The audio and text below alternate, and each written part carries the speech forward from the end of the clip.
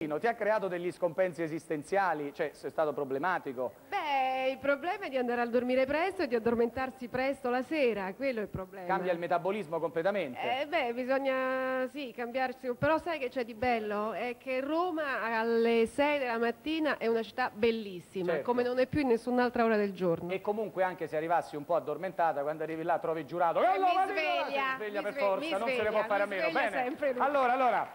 Avremo per politica in famiglia Fausto Bertinotti, segretario di Rifondazione Comunista, Eh, a lui potremo chiedere che cosa sta per succedere eh, nel palazzo, poi il sindaco di Roma Francesco Rutelli, al quale tutti i cittadini di Roma potranno fare delle domande, poi eh, personaggi dello spettacolo, Magalli, Cristian De Sica e poi Michele Santoro e Corrado Augias per l'informazione. Una magnifica settimana. Una magnifica Una settimana magnifica sul settimana tappeto sul tappeto volante. Grazie, arrivederci, grazie ai nostri ospiti.